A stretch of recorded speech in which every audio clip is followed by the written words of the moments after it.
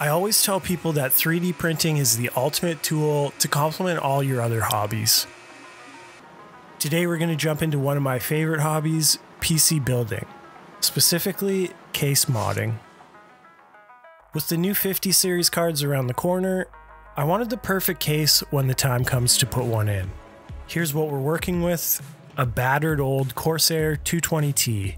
During my move to the west coast last year, I smashed the glass panel as well, so I've been using a 3D printed one with a fresh air intake for my GPU. It wouldn't fit my all-in-one liquid cooler, so I had to mount it to the front on the outside of the case. It also has some glue and plywood on one side from where I wall mounted it in my old shop. Pretty rough shape for sure, and anything would be an improvement. But we're not just looking for an improvement here, we're looking for the best. This is the 2006 Mac Pro, heavily inspired by its predecessor, the Power Macintosh G5 Tower. Released in the early 2000s, it was around the time when Apple pivoted from colorful, bright plastic computers to the more streamlined, anodized aluminum minimalist look that we associate with them today. In 2006, this thing retailed for 2500 US dollars, which is almost 4000 adjusted for inflation. Of course, I only paid 60 Canadian moose knuckles for this off marketplace. In my opinion, this is one of the most iconic computer cases from my youth, and today we're going to use a bunch of 3D printing to fit some modern hardware into it. This video is brought to you by PCBWay. More on that later. First, we have to take this thing apart, and it truly was ahead of its time.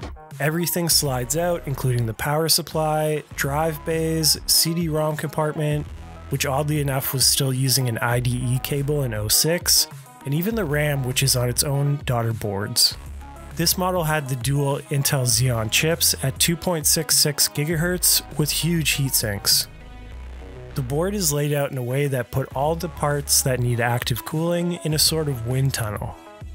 Of course, this is all e-waste now, but I'm going to harvest some of the heat sinks for my other projects. There's a few things I want to keep to maintain the early 2000s Apple charm on this case. First off is the power cable. When inserted, it's flush with the rest of the case, giving a seamless look and since it's rated for 13 amps at 120 volts, it should be more than enough for modern hardware. I definitely want to keep the functionality of this lever that releases the hefty aluminum side panel. And finally, the only screws I found during disassembly on the exterior of the case was four small Phillips screws securing the grill for the rear fan. I'm going to try to not use many, if any, screws that show on the exterior for mounting the new parts. I wanted to reuse these fans as they seem really hefty and with a rating of 0.7 amps, I was sure they'd move a ton of air. Sadly though, Apple used a weird pinout for these fans where instead of the fourth pin taking a PWM signal, it actually requires a voltage between 0 and 12 volts to set the speed. Something I'm just not able to do using a modern motherboard if I want to be able to control these fan speeds based on component temperatures. And finally, I want to keep the functionality of the front power button and power LED. Disassembly was pretty straightforward, and once all the junk is out, we have an inner frame and the aluminum that wraps around it. The standoffs for the motherboard are specific to the board that Apple used, so we need to adapt them for modern ATX boards.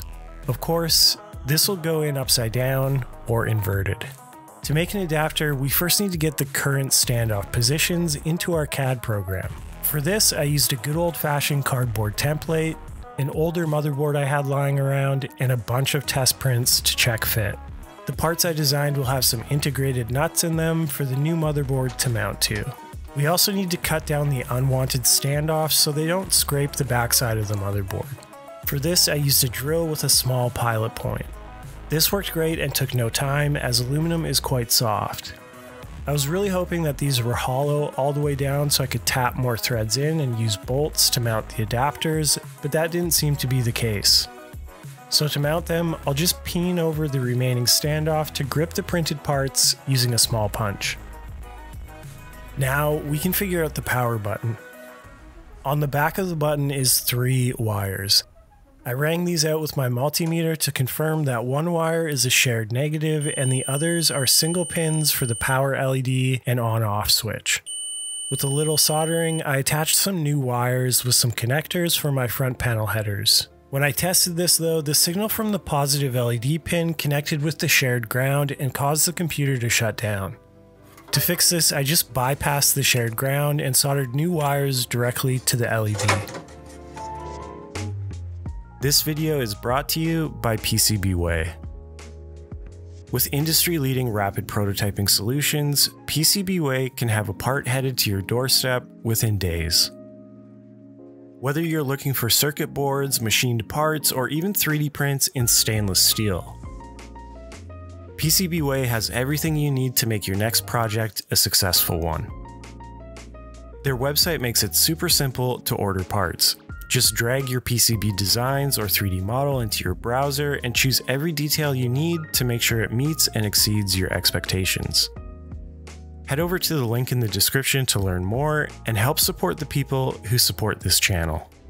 Now, we need a place to put the cooling fans and a radiator for the CPU. For this, I designed two parts, one that I could bolt my fans and radiator to, and another to mount inside the front of the case to the existing standoffs. This means I can assemble everything on this sled and slide it into place. In theory, this would have worked well, but I was really not happy with how flimsy it was, so I decided to bolt the rad right to the mesh of the front panel. For this, I just had to enlarge a few holes, and luckily these nice screws that held in the old hard drives fit perfectly, and they don't seem too out of place.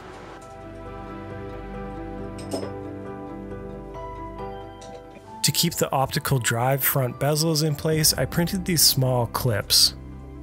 This worked great and keeps the stock look of the front panel.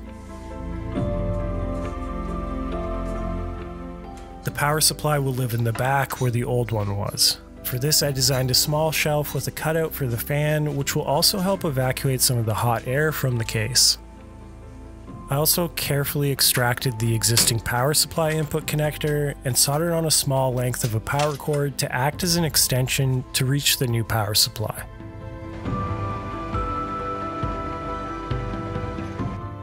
I also designed a small part to mount the connector to its existing spot.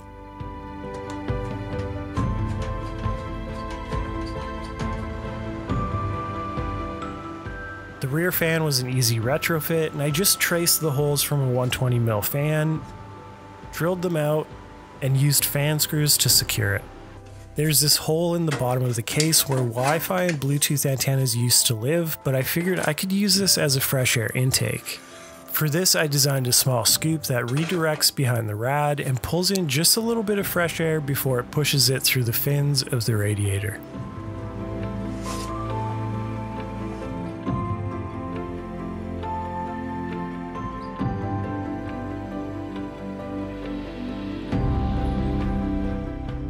The rear I.O. on the existing motherboard protrudes about 2 inches from the rest of the board, so to address this, I did some careful cutting to make a hole big enough to pass my cables through. There's just not enough room to put a traditional I.O. shield back here, so for now, I'll use this protective rim so I can pass my cables through and plug them in.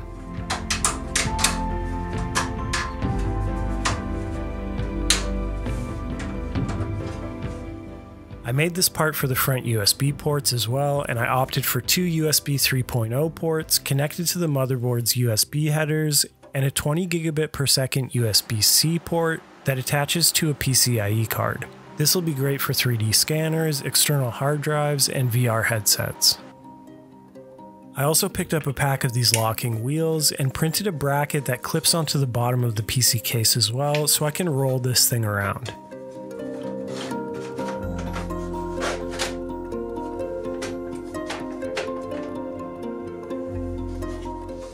Okay, here's the final build.